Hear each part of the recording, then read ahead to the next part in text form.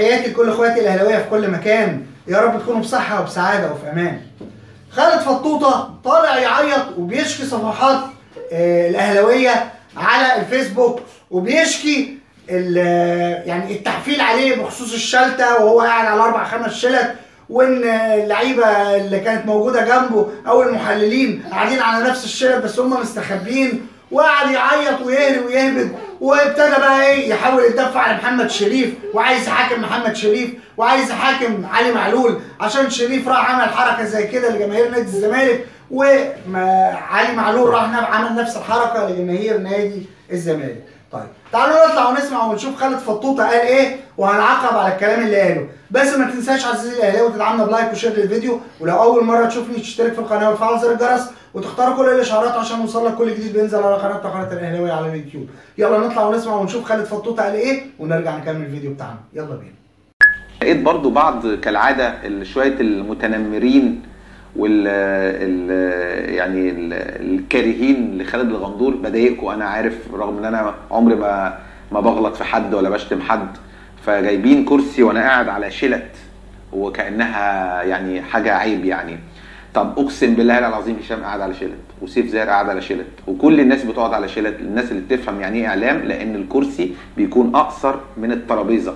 فبالتالي الكراسي ما فيش كراسي اللي هي بتبقى كده بتبقى لازم يجيب لك ترابيزة بقى على الأرض وده شغل إضاءة وتركيب ديكور وبتاع فكل الناس معاها شلت أنا الوحيد اللي طالع بره والتانيين مستخبيين من الكاميرا. فيطلعوها وكأن أنا قصير وشوفوا مركبين له شلت وكان نوع إيه من التريقة والتنمر والعنصرية اللي أنتوا معتادين عليها سواء مع شيكابالا أو مع أي حد بعض بعض منهم يعني. لكن آه، الحمد لله رب العالمين أنا ما اتمسكتش آه، في حاجة آه، خارجة. ولا بعمل حاجة آه، سوقية أو بشتم وبتلفظ أو بقول كلام على الهوا لا يليق ها؟ لا أنا راجل الحمد لله بحترم نفسي والحمد لله رب العالمين وسعيد جدا بخلقة ربنا ليا الحمد لله آه، الحمد لله في شخصيتي وفي تفكيري وفي أخلاقي وفي وفي شكلي الخارجي والداخلي. لكن الدور والباقي بقى على اللي طول الوقت يتنمروا على الناس ويحاولوا يقللوا من خلق الله ها؟ أنتوا بتتريقوا على خلقة ربنا بتتريقوا على ربنا سبحانه وتعالى اللي بيخلقني وبيخلقك وبيخلق أي حد. وبسم الله ما شاء الله يعني تلاقي معظمكم بيتكلموا بالدين وبالتدين ويقعد ينصح غيره وعيب وإيه اللي بيحصل ده؟ ودي مش أخلاقنا. ودي مش المثل بتاعتنا و... ولازم تحترموا إيه ده؟ والم... كلام بقى وأنتوا أساسا يا عم روح غير نفسك الأول روح علم نفسك الصح والغلط.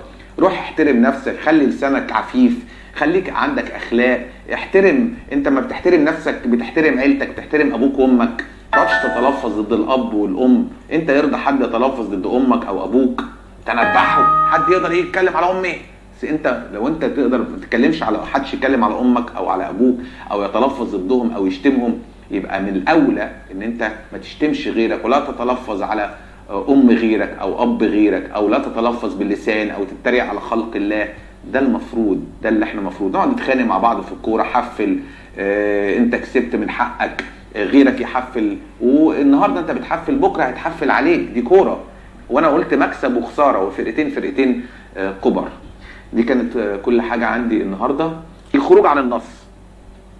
النهارده بعض الصفحات المنتمية للنادي الأهلي منزلة محمد شريف بعد ما أحرز الهدف هو رايح لجمهور نادي الزمالك وبيطلع له لسانه. اما علي معلول عمل ده وأنا جبتها لكم امبارح. يقول لك أصل هو كان بيحتفل بابنه. أنا جبت لكم امبارح. علي معلول. وهو رايح لجمهور نادي الزمالك اللي ورا أبو جبل وهو بي بي بي بي بي عمل اللي هو بيعمله دوت كمان محمد الشريف وكمان الصفحات الأهلي إيه مبسوطة يعني بال بال باللي عمله ده. لكن هنا بقى اللي أنا بسأله هي لجنة المسابقات فين يا جماعة؟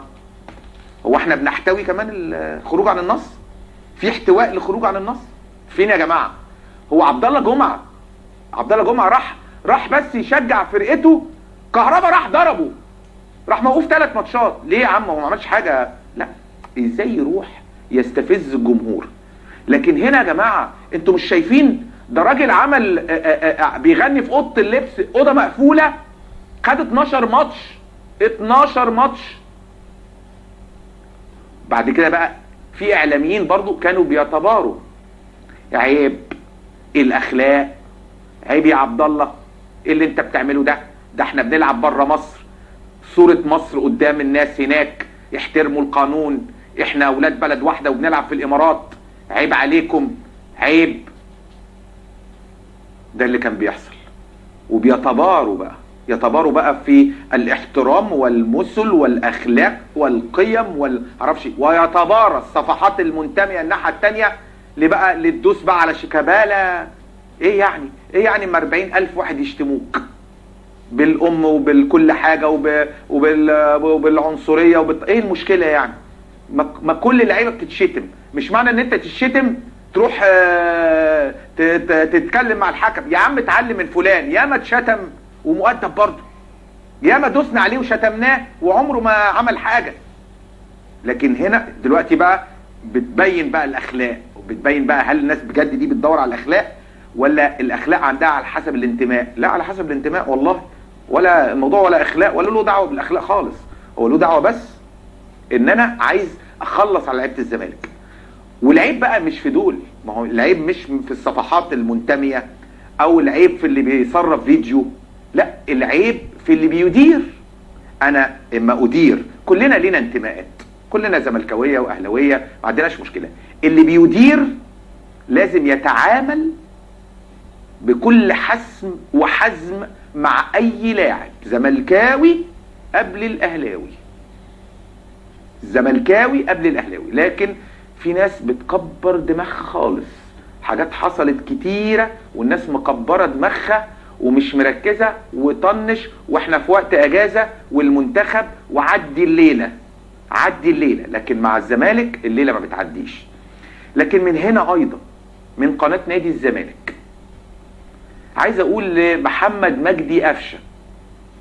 رايحة منه خالص. ما مخه فاضي. لو واحد قال بخ يطلع على قناته على اليوتيوب أو يطلع في البرنامج يقول لك ده في واحد قال لي بخ. يا عم في إيه؟ في حاجات تجاهلها. أنت إعلامي. المفروض ترتقي بنفسك. يعني لو واحد شتمك مش هتطلع تقول ده في واحد شتمني.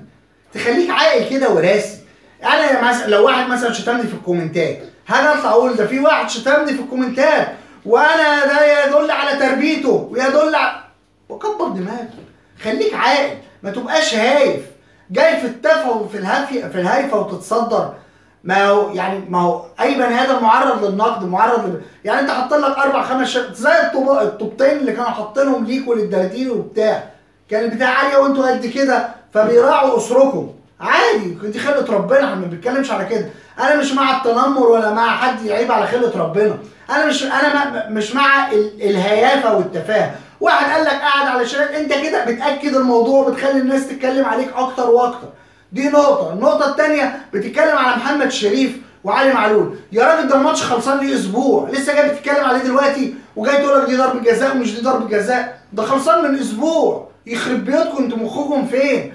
عايز تضيع فرحة النادي الأهلي إن هو فاز عليكم بخمسة وبتقول ده فرق هدفين، المهم إن أنت اترزعت خمسة، المهم إن أنت خسرت ثلاث نقط، المهم إن أنت اتهزمت هزيمة تاريخية من النادي الأهلي.